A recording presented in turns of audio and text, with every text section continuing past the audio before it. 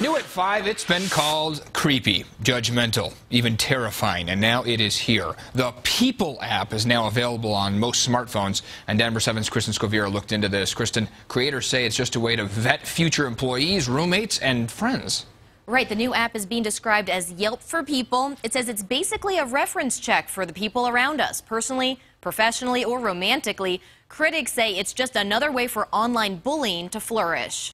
Do you think of your character as online social currency? The creators of Peeple say they do. You might want to look up that new guy you just met online, or that girl who wants to be your roommate. The world was first introduced to the app last year, and the online backlash was swift. Oh, that sounds absolutely awful. With critics comparing it to an online burn book where you could rate your doctor, teacher, babysitter, or dog walker. So we cut out girls' pictures from the yearbook and then we wrote comments.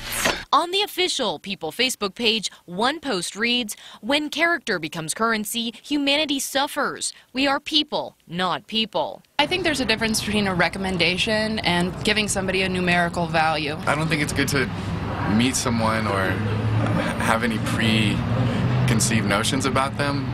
Now the app is available for download and changes have been made. There's no more star rating system and you do need to join the app to receive these recommendations. Still, the app has anti-bullying organizations like Be a Friend, Make a Friend worried. Why are we opening up ourselves to just that emotional sort of, not trauma, but just emotional sort of backlash. Right now, the app is free, but soon a truth license will be added that will allow users to access every review, even those that are hidden.